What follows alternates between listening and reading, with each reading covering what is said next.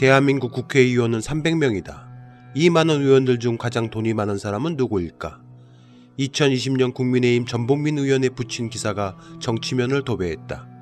전 의원은 수천억 자산가인 부자 아버지 덕에 21대 국회의원 최고 자산가로 알려진 의원이다. 그의 신고된 재산은 무려 1065억 5,578만 원이었다. 전복민 의원의 아버지인 정광수 이진종합건설 회장은 MBC 취재진에게 보도무마 대가로 3천만 원을 제안했다가 거부당한 사건이 있었다. 그는 청탁금지법 위반과 업무상 배임 의혹으로 수사를 받고 있었다. 전 의원에 붙인 전 회장은 보도무마 조건으로 3천만 원을 주겠다라며 죽을 때까지 같이 가자는 발언을 마치 조폭 영화에 대사하듯 했다. 이 일로 전 회장은 김현헌법 위반 혐의로 재판에서 징역 6개월의 집행유예 2년을 선고받았다. 결국 전 의원은 이로 인해 국민의힘을 탈당했다. 그러나 지난 2022년 그는 슬그머니 국민의힘에 복당하였다. 그는 현재 국민의힘 3선의 시의원 출신이고 현재 국민의힘 원내 부대표를 맡고 있다.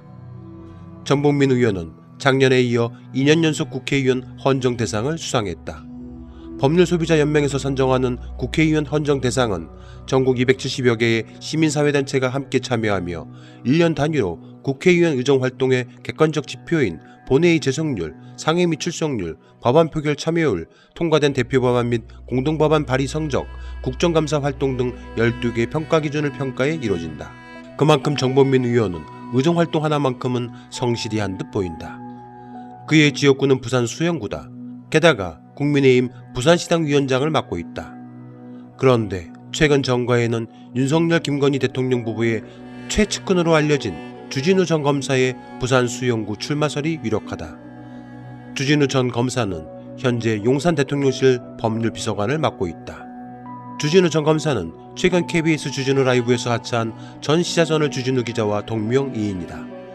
주진우 기자 역시 윤석열과의 친분 문제로 의혹을 산 바 있다. 주진우 전 검사는 내년 총선에 부산 수영구에 출마하는데 현 국민의힘 의원 정봉민을 밀어내고 편법 증여 및 부친의 청탁금지법 위반 등 검찰 캐비닛 방출을 무기로 그 자리를 차지해서 지역구 출마를 노리고 있다고 한다. 문제의 주진우 전 검사는 과거 주식시장에서 박재벌로 불렸던 전직 검사 출신 박수정 변호사의 금융범죄를 봐준 의혹으로 문제를 야기한 바 있다. 박근혜 정부 당시 민정수석실에 근무하면서 검찰 수사를 받던 피의자와 수십 번 연락을 주고받았을 뿐 아니라 중대 피의자의 변호를 맡은 변호사와 수많은 통화를 하고 사건을 무마한 것으로 알려진 인물이고 민주당 검찰 독재 대책위가 주목하는 문제의 인물이다.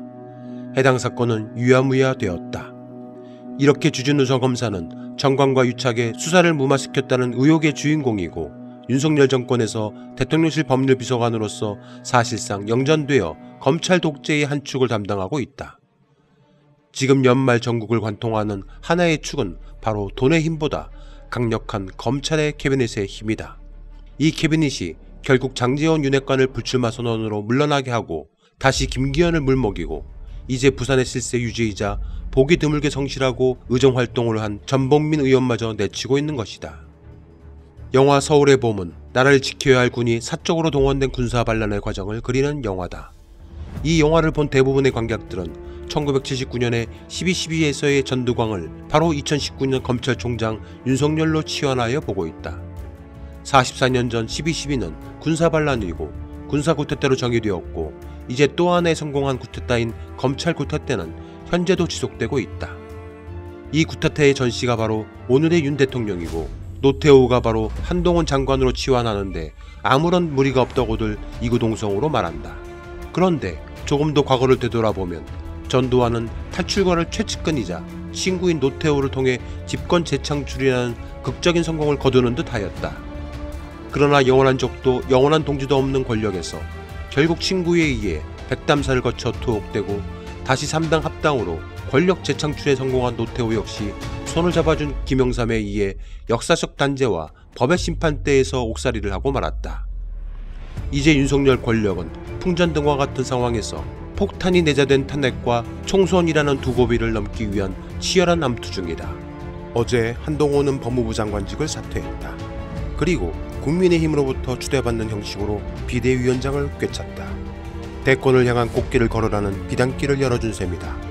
윤석열에게는 한동훈이 있다고 하지만 김건희 입장에서는 출신과 체질이 다른 한동훈만 전적으로 의존할 수 없는 고민이 있어 보인다. 반면에 주진우는 새로운 카드다. 한동훈의 뺀질거리는 이미지와 달리 주진우는 훨씬 맹목적 충성주의자로 알려져 있다. 그래서 윤석열은 한동훈 원톱에 의존하는 것보다 주진우를 기용하여 견제마로 쓰려 하고 있다. 윤석열 대통령에게 이 말을 해주고 싶다. 내가 쥔 칼이 내 등을 찌른다.